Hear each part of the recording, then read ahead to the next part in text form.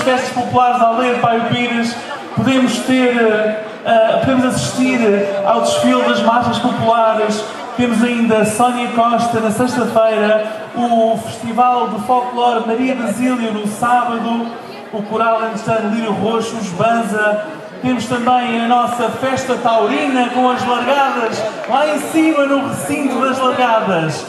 Hoje vamos ter aqui um artista que todos já estão à espera, o nosso Toy. Mas antes de chamar o nosso Toy, chama ao palco quem organiza a festa que é a União das Freguesias de Seixal, Rentela e Aldeia de Paio Pires e o município do Seixal. Estão então ao palco Maria João Costa, a Presidente da União das Freguesias do Seixal, Rentela e Aldeia de Paio Pires e o Presidente da Câmara Municipal do Seixal, Paulo Silva.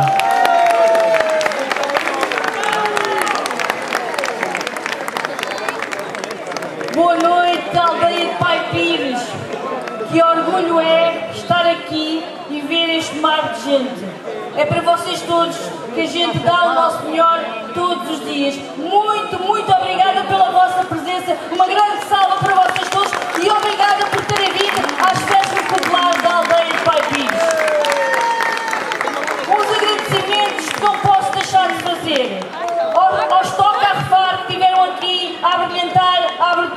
nossas festas. Ao grupo de motares, os paladinos e outros grupos de motares se associaram hoje em desfile para estarem aqui também na abertura das nossas festas. Também eles merecem uma grande salva de palmas.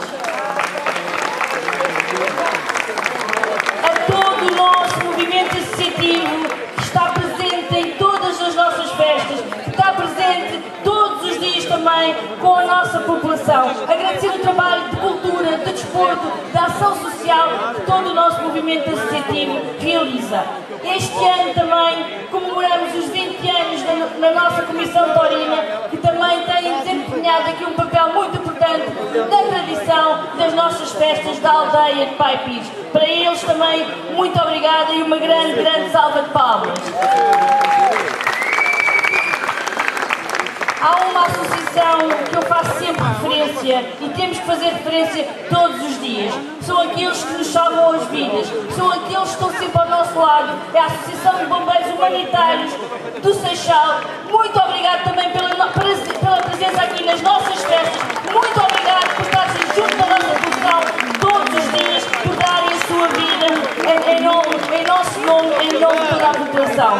Depois, como não podia deixar de agradecer também ao meu querido Presidente Paulo Silva, Presidente desta Câmara Municipal de Seixal, a todos os elementos do Executivo da Câmara Municipal, pelo brilhante trabalho que têm desenvolvido em cooperação com a nossa União de Freguesias e vamos continuar a desenvolver para que cada vez mais seja melhor viver na nossa aldeia de Pai na nossa uh, Junta de Freguesia da Arrentela, de Pai Pires, Ferrofer, Amor e Corrojo, que também estão cá hoje, todos presentes. Muito, muito obrigada, Sr. Presidente, em nome de todas as freguesias do Conselho, pelo excelente trabalho que têm desenvolvido. Boa festa, boa festa para todos, excelente convívio, muita alegria, muita animação, é o que nos espera nestes 5 dias de festa na aldeia de Pai. Muito, muito. Viva as festas da aldeia de Pai Pires.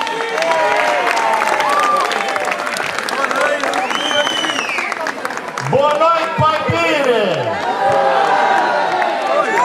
É bom sentir a força da população e, na verdade, vocês deram uma boa força aqui com esse forte boa noite.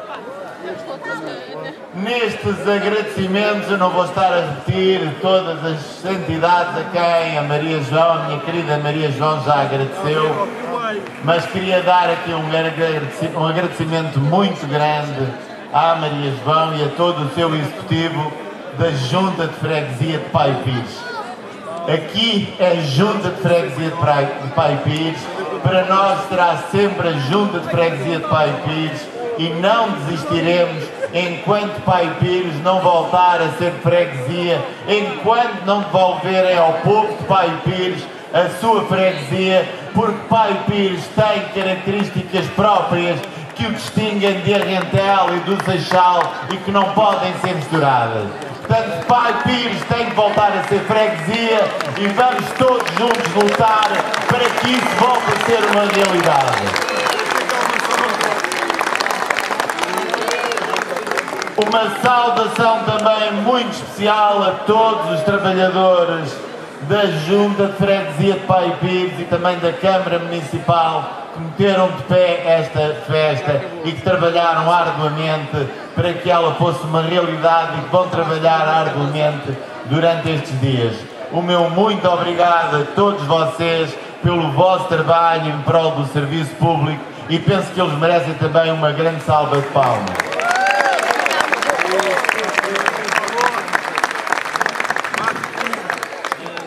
Sem dúvida que estamos a rir e estamos em, vão ser cinco dias de festa, de grande festa aqui na aldeia de Pai Pires, uma aldeia que se desenvolve a cada dia, tem havido sem dúvida um investimento muito grande na aldeia de Pai Pires ao longo destes anos, nos últimos anos eu lembro-me a requalificação das instalações do Pai Pires Futebol Clube, quer da sede, quer do relevado, a requalificação das instalações do Clube de Pessoal da Cirurgia Nacional, a requalificação das instalações do Clube de Ciclismo de Pai Pires.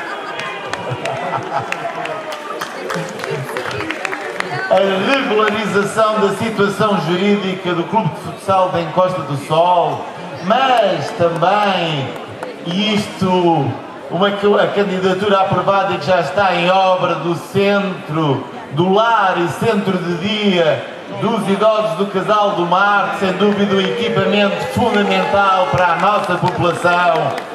Uma outra novidade foi aprovada também no âmbito de candidaturas PRR e das parcerias que também estão a ser feitas com nosso, as nossas instituições. A creche no Alto dos Bonecos também vai ser um equipamento para mais de 84 crianças, que vai sem dúvida ser importante para o desenvolvimento desta freguesia e o trabalho que fazemos com a Junta de Freguesia de requalificação das ruas do núcleo central da freguesia de Pai Pires, já foi a rua do Pai Pires Futebol Clube, outras vão seguir, mas uh, também uma luta muito antiga da população e que vai ser uma realidade. Esperamos ainda lançar a obra este ano.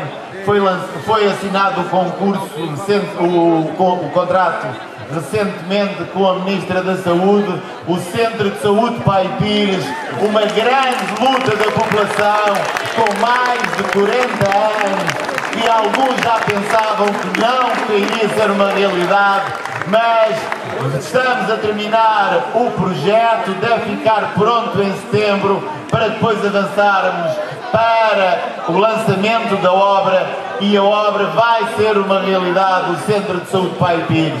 E valeu a pena a grande luta que a população ao longo de mais de 40 anos teve pelo Centro de Saúde Pai Pires.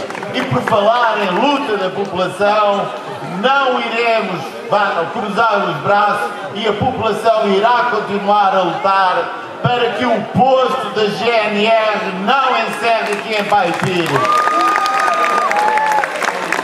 Foi sem dúvida uma grande jornada cívica que a população teve, a população da aldeia de Pai Pires, recentemente a mostrar que não vai ficar de braços cruzados e que não vai deixar que o posto de GNR encerre. Alguns vieram dizer que estávamos a ir e a lançar o pânico na população que ninguém quer que o, que o posto vá fechar.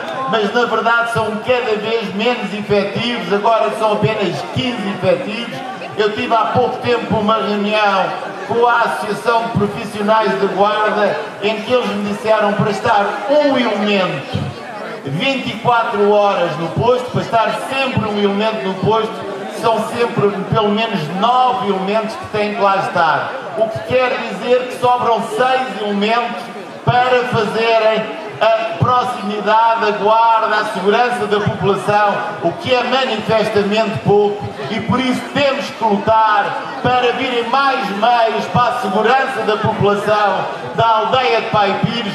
Não podemos ficar de braços cruzados e vamos lutar sem dúvida, porque não iremos deixar que o posto da GNR na aldeia de Pai Pires vá fechar. E por falar em luta e por mostrar que vale a pena, foi uma grande jornada de luta que tivemos recentemente em defesa, em prol da construção do hospital no Conselho do Seixal.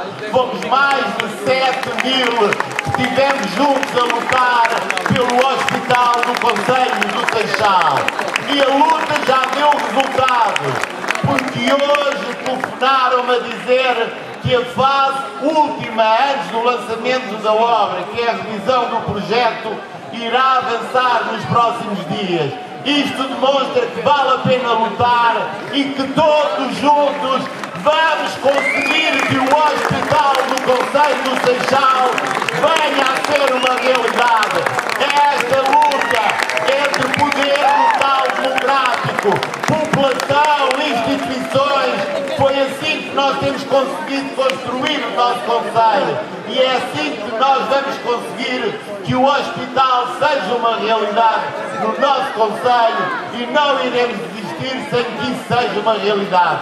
E neste Conselho, que cada vez mais é um exemplo para o país, um Conselho que é aquele que mais cresce, é aquele que mais se desenvolve na área metropolitana de Lisboa. É um Conselho que é um exemplo da forma como trabalha, a título meramente exemplificativo, enquanto que na execução do PRR a média dos 18 conselhos da área metropolitana de Lisboa é de 26,9%, o Conselho do Seixal lidera destacadíssimo com 48,8%. Somos aquele que melhor trabalha, que mais faz, que melhor aproveita os fundos em prol da sua população, em prol do desenvolvimento do nosso Conselho. E iremos continuar assim a trabalhar em prol do desenvolvimento da população, em prol do desenvolvimento do nosso Conselho e para que o Conselho do Seixal cada vez mais seja um exemplo para o resto do país cada vez mais seja um orgulho para todos nós. Mas vamos agora continuar estes cinco dias de festa, em grandes festas aqui em Pai com as suas particularidades, e por isso, muito obrigado a todos, com certeza